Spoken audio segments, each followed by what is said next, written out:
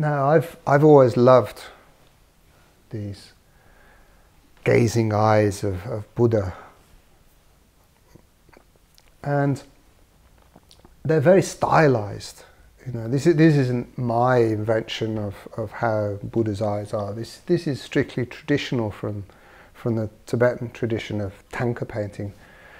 So the, the, the proportion of these is based on this, this grid and even the gap between the eyes, eyes there, and, and where this um, minsam, this, this uh, bindu dot here is placed. Uh, it, it, it's all a, a, sacred geometry and harmony. Um, all the all-seeing eyes of, um, of Buddha. Buddha is, is the completely awakened one. That's what Buddha means. Sanje, Sangje in, in Tibetan, it's written here, Sangje just means uh, awake and, and open, liberated. So there's, it should have a, a feeling of, of this um, um, insightful gaze, but at the same time compassionate, because a, a Buddha is, is, is the, you know, the embodiment of loving kindness.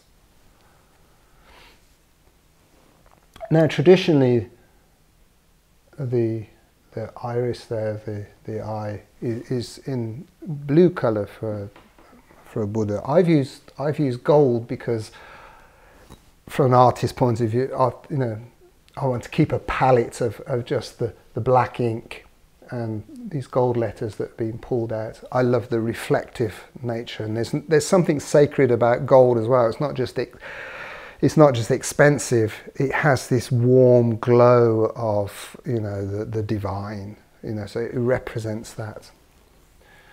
The, this is in silver at the very top there.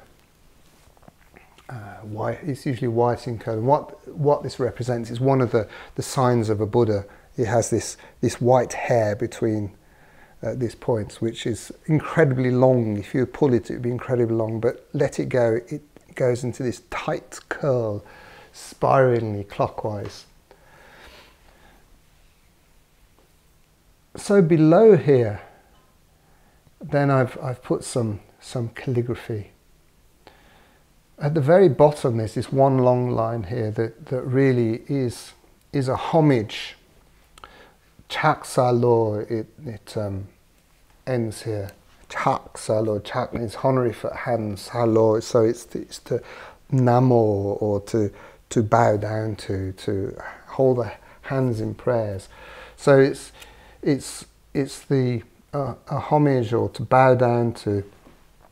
Um, here we've got Sonji Shakyatupa. So Shakyatupa, of course, is the, the name of, of um, the historic Buddha as we know. Sakyamuni Buddha, Shakyatupa, Sonji Shakyatupa. So this, this particular style of, of um, Tibetan script, I have revived, I've studied one which dates back from the 14th century in central Tibet. Um, I, I, like to do this. It's a very interesting thing to do to, to take um, an ancient script, in particular um, of the of the same calligrapher. When you when I explore it, when I um, mimic it, and and to uh, you know really understand it, and to analyze the alphabet and how this particular calligrapher formed the letters, you really start to get a sense, a feel of that person. Because I'm a calligrapher, then I know how things are, are formed, you know, and I have a particular habit of way of doing things. So when you study somebody else's hand, their hand, of course, is a manifestation of themselves. So you, you, you get this idea, this sense of the person. And for me, this person at this time, eh, back in the Yuan dynasty the, of the 14th century, he had more freedom. You know, there's more freedom, there's more time, there's more ease. It's quite a relaxed um, script style. It's less rigid and formal of other script styles of Tibetan that, that came along later, such as Tsuk Ring, this very long pulled um, script style. So that's really nice to, to, to connect to the past in that way.